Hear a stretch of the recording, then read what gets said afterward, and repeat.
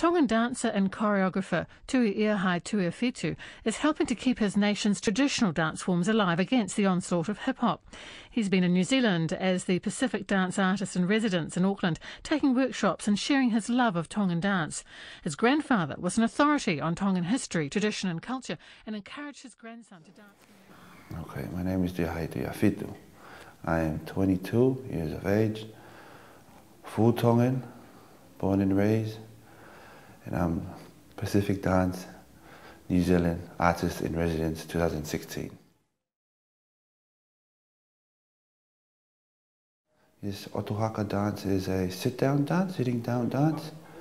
It's um, it's uh, basically just hand movements, just the hands, just the, the top part of the body.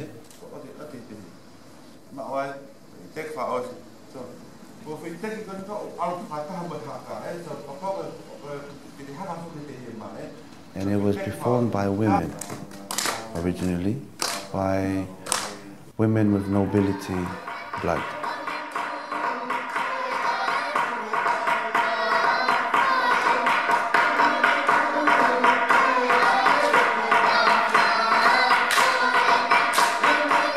And it was performed in front of the Tuitonga in special occasions that he won. And but nowadays men can join in. But uh, back, but but Otuhaka is basically just um, for women.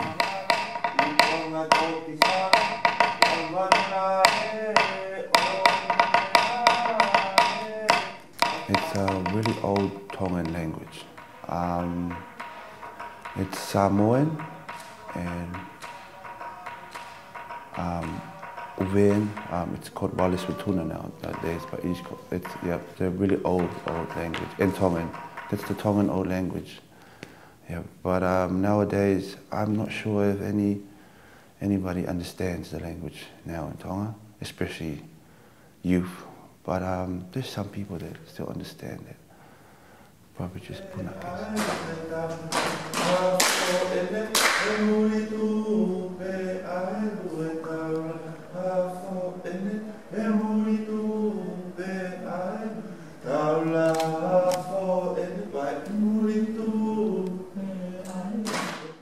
I learned it when I was in Atenisi, performing arts.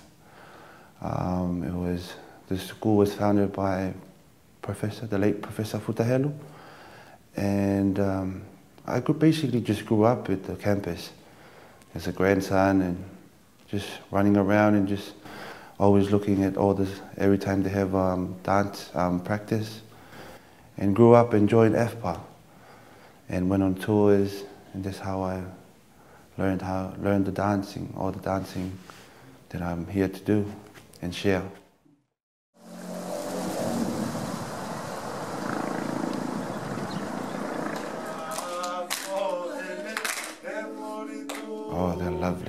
They not just Tongans there, but they have other cultures, other nationalities of kids. That they're they're really, they're loving it. They like the Tongan dance. They they actually told me it's the best dancing of the, of the South Pacific, but I cannot, you know, I can. I know I'm Tongan, but every culture has the dancing is all beautiful. Two, three, six. Okay, six times, and then and then after that they do this.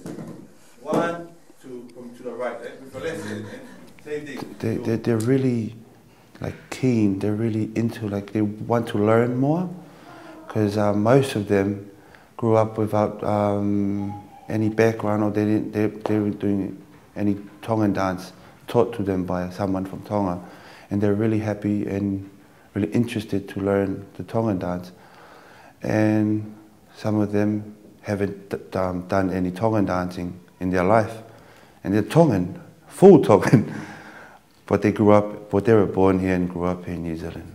Into the arts now, the ancient songs and dance of Tonga have been on show at the Te Oro Arts Centre in Glen Innes in the last month as part of a Pacific dance residency. Tuiahai is from the Atenisi Foundation for the Performing Arts in Tonga and the residency is now in its seventh year.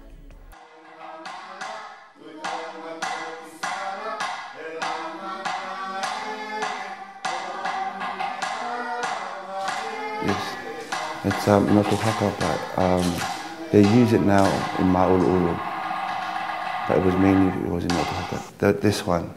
So when you go to the side, at the same time, the person beside you, his, his um, right arm comes across inside you at this, um, in your left arm. That's why you have the little gap in this, um, so you can, so they, so they can come across when they're together. It's a really nice one. It's all about the hand going to the side. There's, there's one that I really like in the Otuhaka is um, that move, when you put it up and it goes back up here, and then when you deki, it comes here and it comes back down.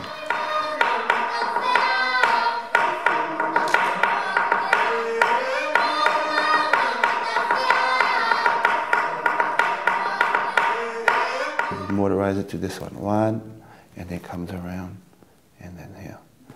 That's, that's the modernized one for the, for, for the movement in Otuhaka. And they go into the side, one, and it comes back, they pull, and then the dui.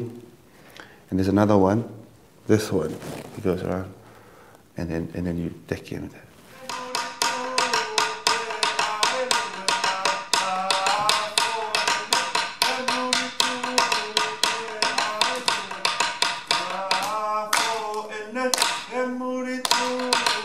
Vete, this one.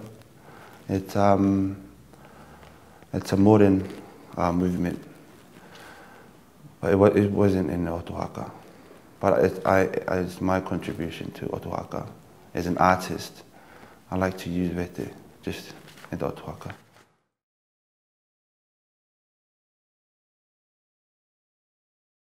Space.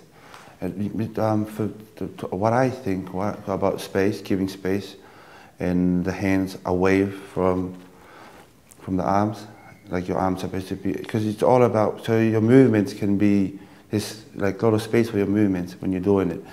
At the same time, it's very it, it looks way beautiful when your arms are away from your from your side of your body. So, and the head. Every time you do tonga dancing, it's always you you just have to um, you're, you're, when you're looking, you always have to look where your your hand your hand movements are going, and then you look at the front. Every time a, a movement starts, a haka, you, you have to look at it first. Like for example, this one, when it goes to the side, look at it, and it comes back to the, to, to, to the middle, and then you just keep on. You have to, you have to follow where your arms are doing, because so, at the same time you're telling a story as you're dancing. You're telling the, what the song is about, the story of the song the poem, the poetry of the song.